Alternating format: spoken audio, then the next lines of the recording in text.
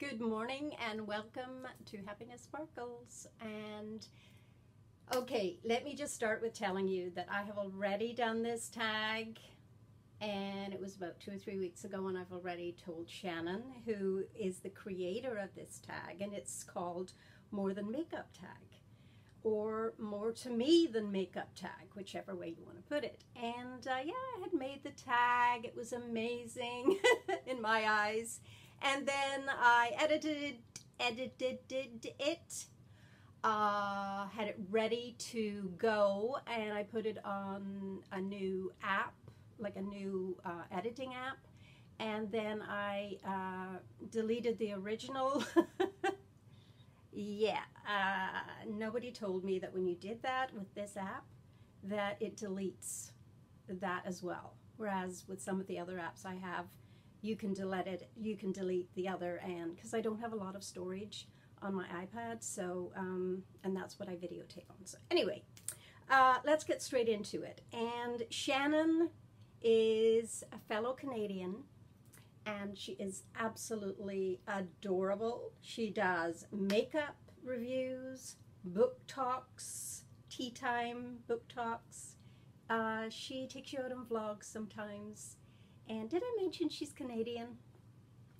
Yeah, I have very, very few Canadians uh, on my channel. Most of my most of my followers, when I check my stats, most of my follower followers and subscribers and friends are from the United States, which, hello, amazing. And I have a few in Britain, I have some in Australia, I have some in Europe and other places, in Ireland, and, and a few in Canada, which is kind of nice. So let's get started. The first question is, what's your favorite thing about where you live? Well, my favorite thing about where I live is that it's a small town uh, outside of Toronto, Ontario.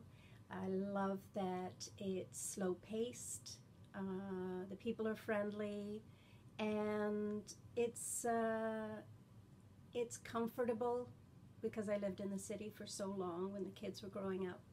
And it's comfortable, and I've made some amazing friends. I've worked here, and it's just warm and comfortable, and I just love it.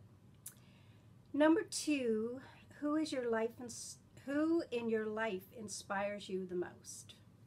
Um, well, if it's someone that's living, then uh, the person who inspires me the most would would be my sister, and she is someone that's been in my life since I was born. She was 14 when I was born, and her and her husband, who has passed away, Johnny, they both took me under their wing and uh, they were my inspiration and mentors and guidance and all of that good stuff all rolled up into one.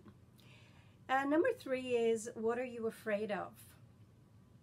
I guess I'm afraid of anything that uh, would happen to my children or my husband. That would be the only thing I'm afraid of. And, you know, on a more superficial level, but still, still you know, for me, I'm afraid of, and that, that that's wasps. I'm terrified of wasps. If I see a wasp in, coming into the gazebo when I'm outside, I will actually almost have a panic attack. So everyone knows that, and yeah, wasps. Um, what's number four is what's the one thing you wish you could tell your teenage self? um, my teenage self, I would say be a little bit more assertive and, you know, uh, write your own book and don't be so pleasing to others. You know, I'm a, I'm a people pleaser and that's something, you know, be, be yourself, you know, be, just put yourself out there and, and, you know, but really, if you were to tell yourself this, when you're younger, you're not going to listen anyway because you're not mature enough to understand how to do that. That's just my opinion. Uh, number five is what's something people would su be surprised to hear about you? And well, there's one good thing and there's one not so good thing, and I'll start with the not so good thing. And um, I hold a grudge. I know, I know, it's it's it's not good. It really isn't good. Um, but when my feelings are hurt, they're hurt, and and I I do. I, I'm learning. You know, again, 64. I'm still learning to deal with you know letting things go and and I'm I'm doing well now I'm doing much better I'm learning who I really am and it's taken me all this time uh, you know in the last few years to realize I can say no to people and you know and, and not worry about them not liking me but yeah I, I tend to hold a grudge but uh, that's in the past and, and I'm moving on from that hopefully and another thing that people don't know about me is as a young teenager, uh, even 11, 12, 13, I wrote songs and poetry. And my dream was to be a songwriter or um, a poet and uh, send my songs off to someone famous. So, yeah. And I destroyed them all because they weren't, in my opinion, good enough. And I wish I had told my younger self not to do that because some of the work was pretty good, I think. Now, number six is how do you relax and de stress? Um, I walk, I listen to music, um, I read, and I hang out with my family. And sometimes I just go into my room and I watch Netflix. Number seven, what do you love? Why do you love makeup? I love makeup because when I put it on, it makes me feel pretty. And it enhances, enhances my lips, my eyes, my cheekbones. It just makes me feel good.